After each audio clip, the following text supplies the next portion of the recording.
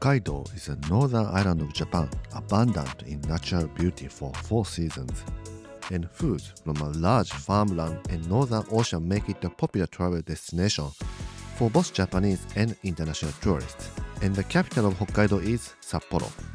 Sapporo is a city 2 million people live and a center of economy and a hub of transportations in Hokkaido. The city is known for heavy snow it gets during the winter season and Sapporo hosted Olympic Games in 1972. You can also access to major ski resorts such as Rusutsu, Niseko, and Furano in a few hours from Sapporo.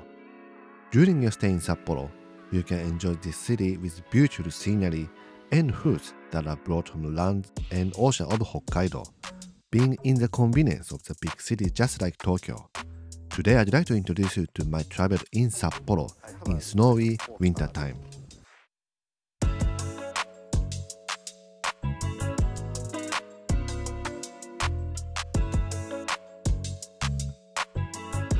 The most common way to fly to Sapporo is taking flight to New Chitose International Airport, which is located 45 kilometers 27 miles southeast of Sapporo.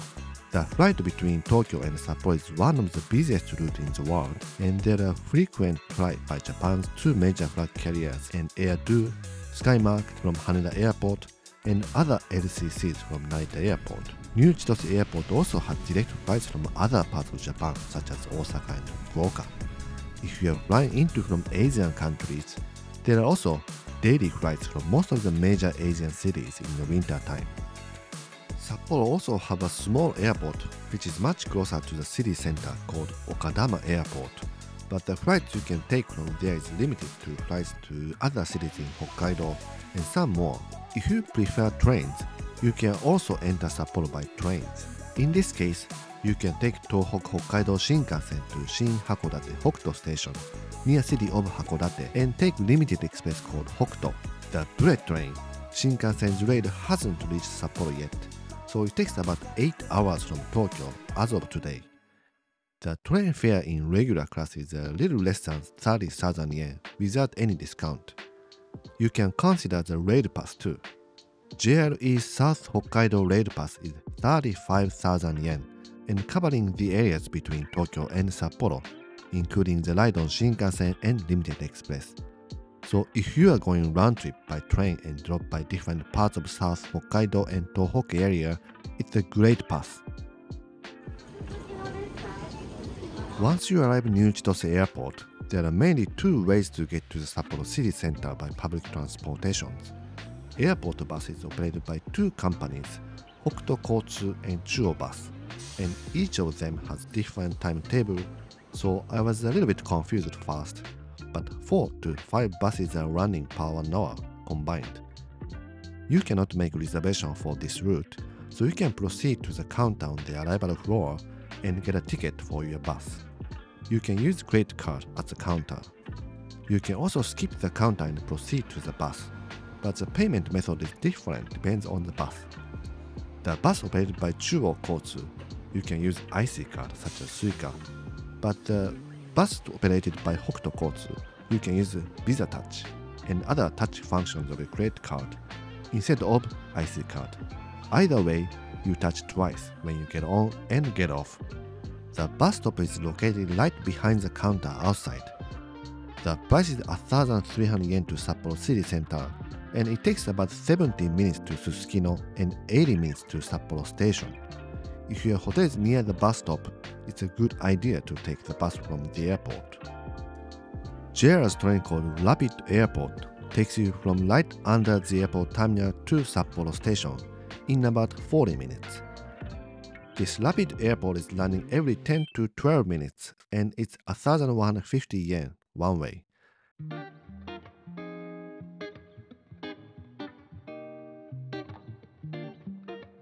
皆様今日も JR 北海道をご利用くださいましてありがとうございます千歳線快速エアポート109号札幌行きです You can use IC card from other cities such as Suica or Pasmo in Tokyo and Ikoka from Osaka. But if you land Hokkaido and don't have one yet, you can get IC card of JR Hokkaido, which is called Kitaka. and you can use Kitaka in other major cities in Japan too. But IC card is only used around Sapporo, so when you do extensive travel in Hokkaido area, get a ticket or any rail pass such as JR Hokkaido Rail Pass. This time, I arrived by airplane from Tokyo and took rapid airport train to Sapporo city center. The airport and Sapporo have distance, so the weather can be different, especially in winter time. This day, there was a storm coming, and as the train approached to Sapporo station, clouds started to cast over the train. Car number 4 is a U seat, and it's a reserved seat.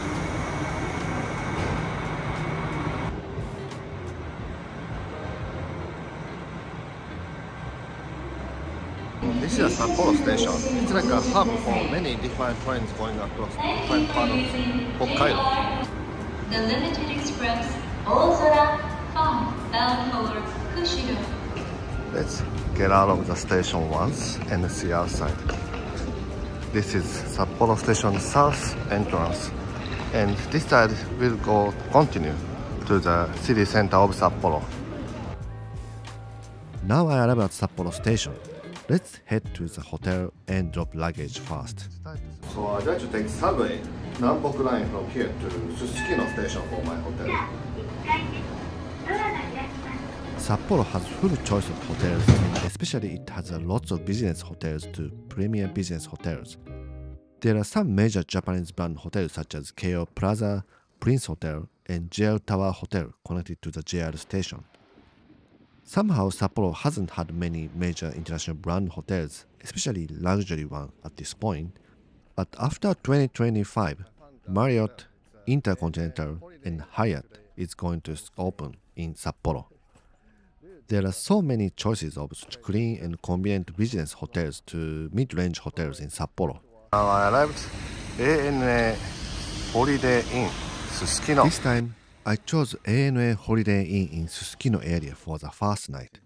I stayed here with the points I had, but even with paying with cash, it was about 6,500 yen or so per night without breakfast, which is about 45 US dollars. Nothing special, no public bus, no kind of new building, and no amazing breakfast maybe, but it's something really cozy uh, being kind of big brand hotel. Two clean disposable slippers. So there aren't many channels, but you can watch CNN on English too. There's a vending machine for the regular drink and beer and some alcohol drinks. It's, the price is actually not that high. The hotel was close to Susukino station and it was very convenient to go out to eat and walk around the town. When such hotels in Sapporo, you see most of the hotels are located in the area from Sapporo Station to Nakajima Park. Each area has different convenience. Sapporo Station is where the train to other parts of Hokkaido leaves, and you also have direct access to the airport. So when you arrive with big suitcases or have plans to go other parts of Hokkaido, it might be a good place to stay. If you like quiet and clean area, this along the Odori Street and between Sapporo Station has lots of hotels. It's more like an office area, so it's quiet environment. The merit of Odori area is you can take several subways, so it's convenient when you travel to other parts of Sapporo by subways too. If you like to hang around at the night and like to stay closer to other crowds, Susukino is a good area to stay. You can walk out of your hotel and find lots of places to eat quickly. The only thing is, it's also like a night town, so you see those stores board of red light district on the back streets. But no matter where you choose, it's not that far from the other areas. Sapporo Station to Susukino is actually walking distance and it's connected with a big underground street. You can either walk or take subways easily between these areas, so it might not that big matter which area to stay as long as you are in the area. So if you are traveling during the snow season and using the public transportations, you might want to make sure to make get a hotel near the train station or subways or underground entrance. So it's a little difficult to carry suitcases on this kind of rough street. When it's snowing in winter, it's difficult to carry suitcases on snow. If the snow is deep, It's just difficult, but if snow starts to melt, it can be really wet. So if you are staying in Sapporo during the winter time, it might help to get a hotel near the station or near the entrance to the underground. The Holiday Inn I stayed was one or two minutes from Susukino station, so it was convenient.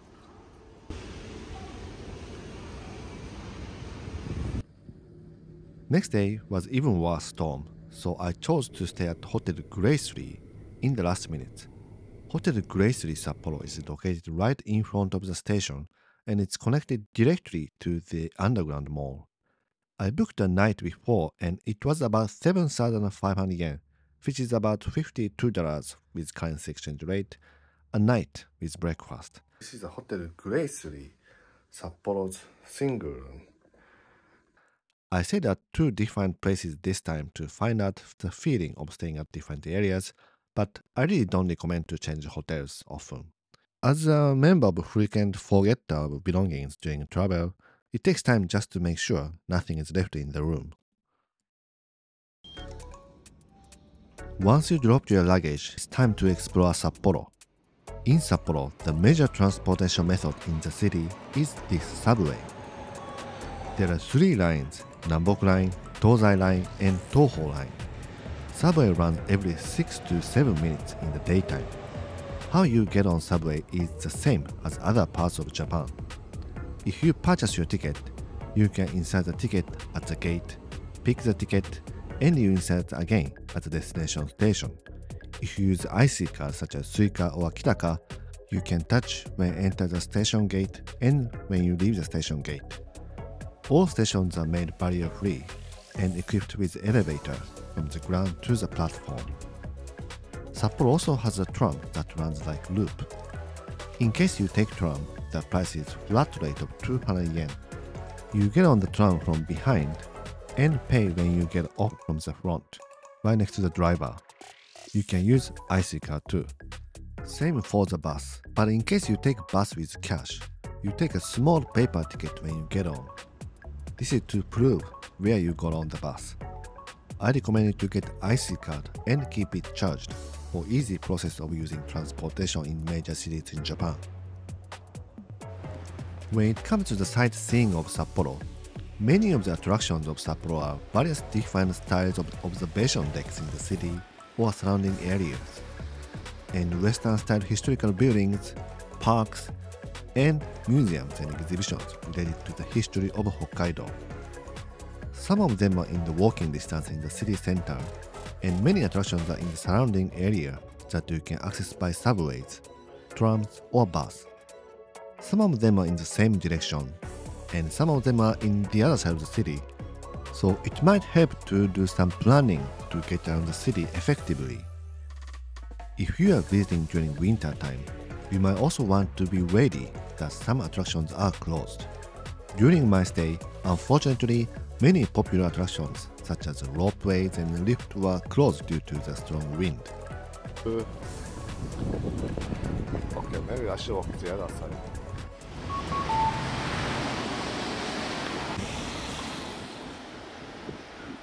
Hokkaido is about the history of the new development of the land and lots of technology from the United States were used for agriculture and farming. Between the TV tower and Sapporo station, there is a Sapporo Clock Tower.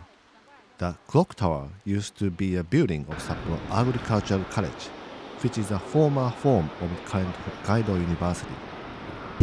So this is Sapporo's clock tower, the, one of the most popular tourist attraction. It's often said it's uh, also a disappointing attraction that basically this is it. I, I remember I came here when I was uh, elementary school and kid. I thought it's just nice, but uh, I don't remember actually what I thought when I was a kid. I, but I think it's actually beautiful. In winter it has lots of snow, and in summer I'm sure it has lots of nice green and so beautiful. As people moved to Hokkaido and government developed the Hokkaido in the 19th century, Hokkaido puts importance on farming to produce dairy products agriculture, fishing, and beer brewery as an industry. To help the development of Hokkaido, Sapporo Agricultural College was established with the help of faculty members from the United States, and in late 19th century, the clock tower was built. And this clock was made in New York for this clock tower and started to ring the standard time of Sapporo. One of the faculty member, Clark, became somehow famous in Japan. And the word he left, be gentleman and boys be ambitious, became the iconic word showing the frontier spirit of Hokkaido. It seems most of the tourists left without entering inside, but there's a small exhibition space that you can learn about the history of this clock tower and Sapporo. The entry fee was 200 yen and 1080 yen if you go with the TV tower.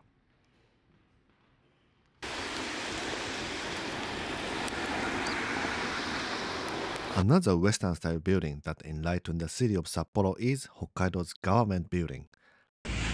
This is Hokkaido's government building. It's a nice red brick building, but actually it's drawing. It's under renovation it seems. All the bars are like where the roof used to stop or something. But they have trees.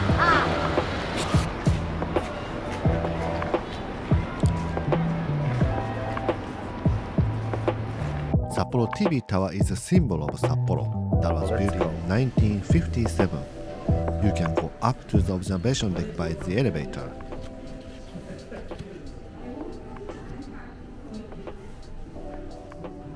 Just me in the elevator, and it's so beautiful.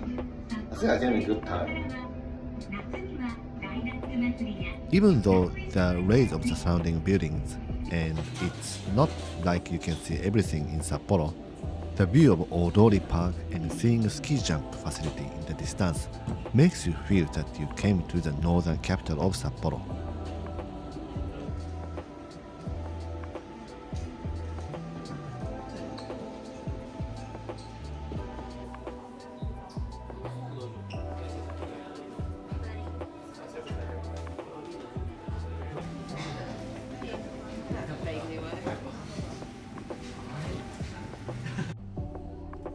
For the observatory, you can also check JR Towers Observatory connected to JR Towers in Sapporo Station. Sapporo is also surrounded by mountains and you can see the dynamic view of Sapporo from mountains too. Two other famous spots to see Sapporo is Moiwayama that you can go up with ropeway and Okurayama which has a ski jump facility which is used in the Olympic game. You can go up there by lift. Unfortunately, both of them were closed this time.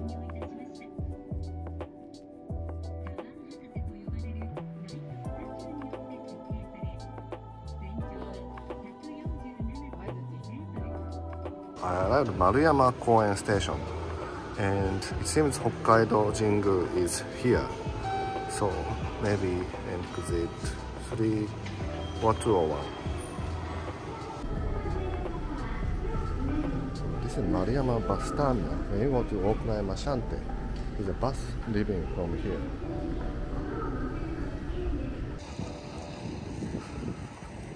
これも This is also a shrine right in front of Maruyama Koen Station. If you are looking for walking in the nature of Hokkaido, you can visit Maruyama Park, a park located in the west of Sapporo city center, and there is the Maruyama Zoo and the Hokkaido Jingu Shrine.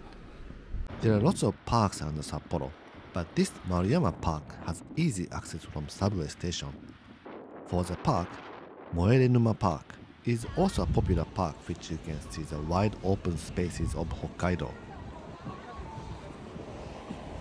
If there is snow like this, there's no problem.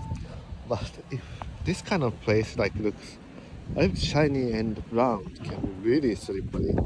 So please be careful when you walk. When you walk in Sapporo, definitely it's a must have to have the glove and the scarf and I got this kind of cap there's also a zoo in this park, but I'm kind of debating how far is it in this snow. I got Hokkaido's banana milk coffee. It's say 0.4 degrees, so it's not that cold, but it feels much colder than how it looks in the numbers.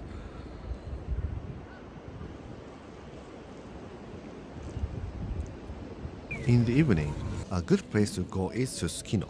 Susukino is one of the commercial centers of Sapporo and more known as an entertainment and nightlife district. The board of the whiskey brand born in Hokkaido, Nikka, is the symbol of the Susukino traffic light.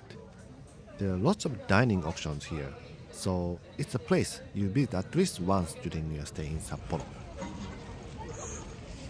Very dry snow, so you do like this comes off cleanly. It doesn't look that wet. One reason to visit Sapporo is the food of Hokkaido.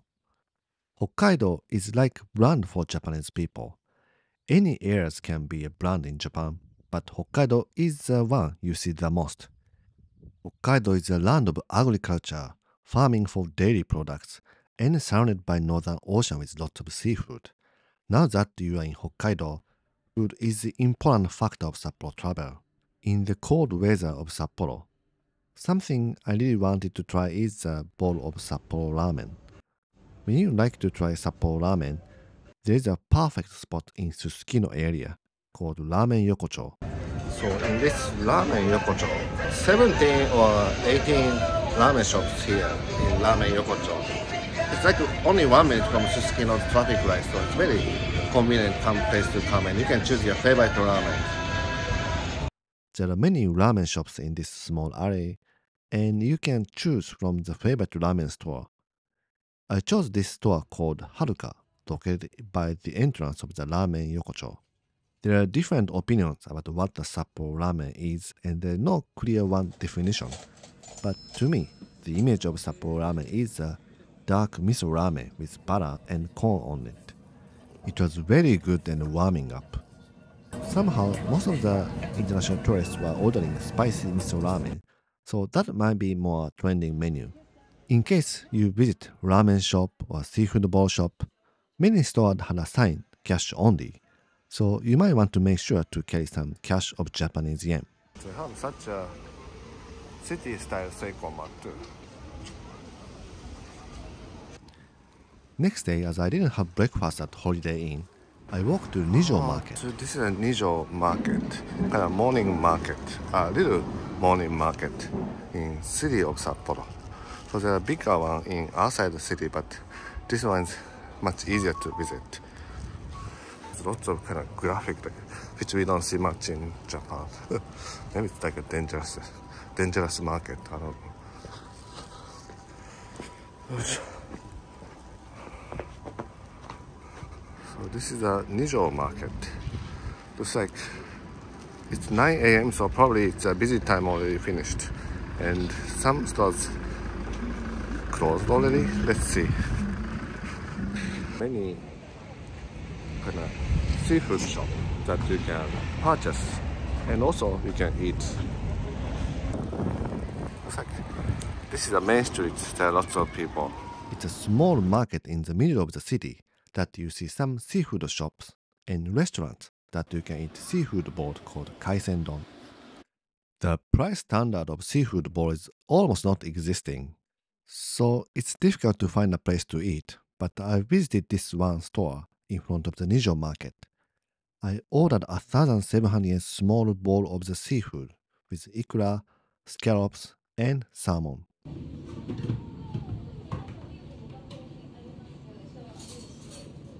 It came with a cup of the soup with lots of shrimps. I asked if I can eat shrimp, but he said you can eat if you want, but bite very well and usually nobody eat it.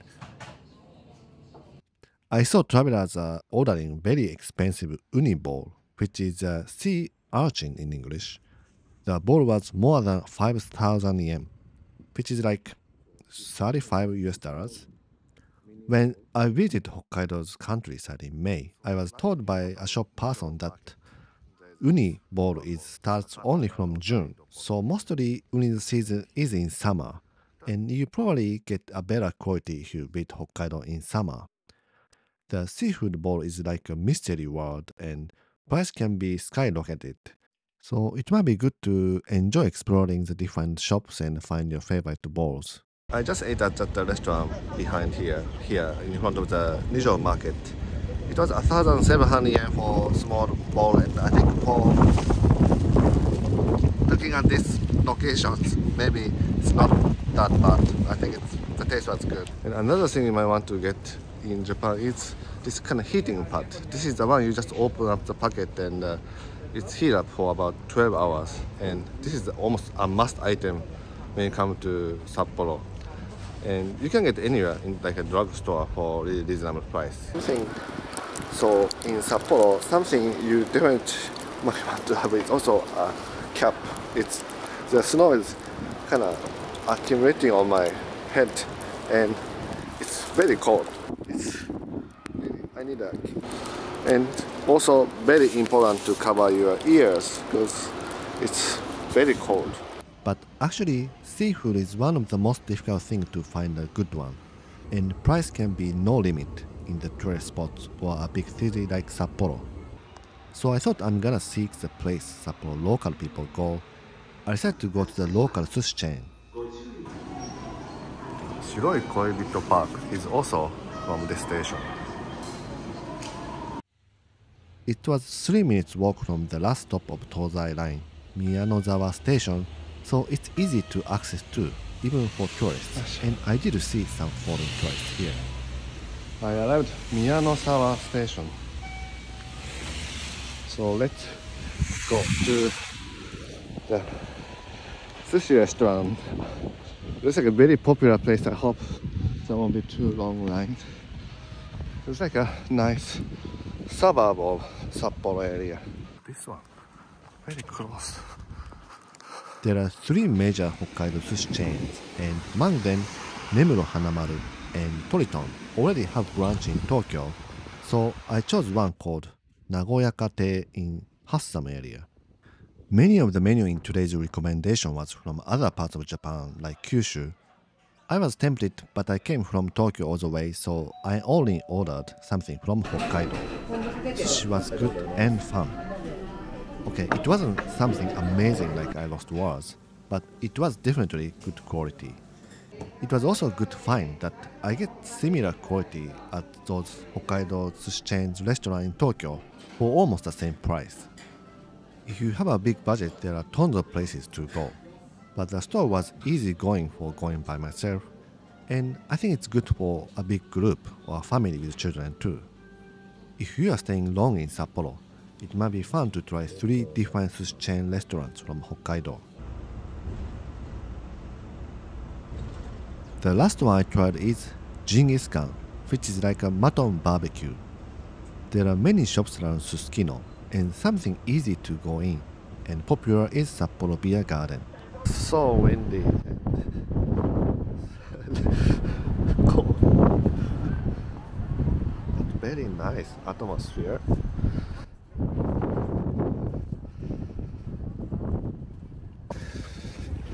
So this is Sapporo Beer Garden. That where you can eat the Genghis Khan nabe of pot. Oh, oh like yakiniku. So I have a reservation for 30. So let's see what the Genghis Khan, the special food is like. So it's a by 5.30 and the museum shop closed 7.30. So it looks like there's a museum and you can try some Sapporo beer that are crafted here. And restaurant is in another building. And there are some museum shop of Sapporo beer.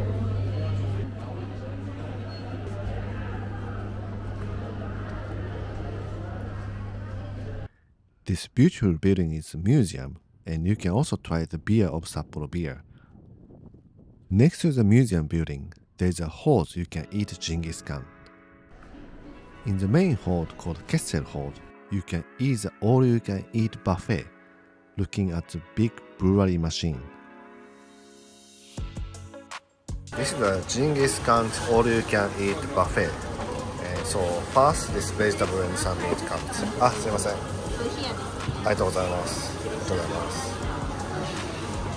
this is a beer of Sapporo 5 star.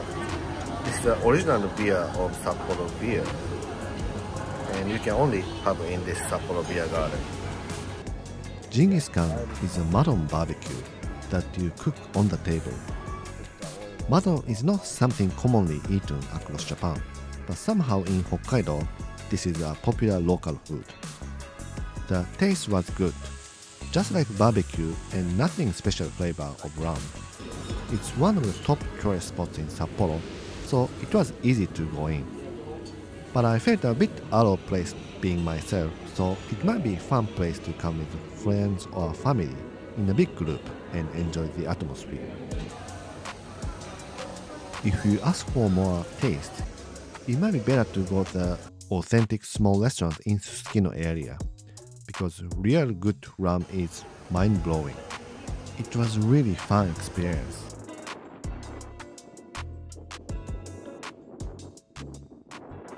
On the way back from Sapporo Beer Garden, there is a shuttle bus, but I decided to take JR train.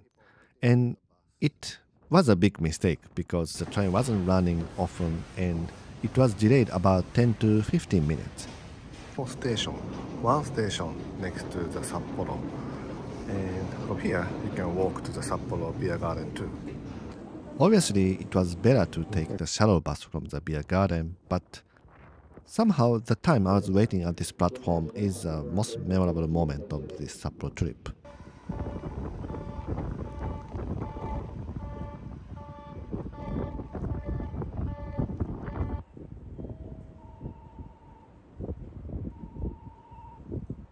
If you are visiting Sapporo in winter, there are several things you might want to pay attention if it's not too late. In winter, Sapporo can be very cold. With the wind, it can be colder than how it looks on the temperature. As I mentioned in the hotel section, it's better to get hotels near the station or underground mall. The underground is continuing from Sapporo station to all the way to Susukino station. If you see the Google map and go closer, you can see the underground in the red. And also, uh, Grab is a must-have item.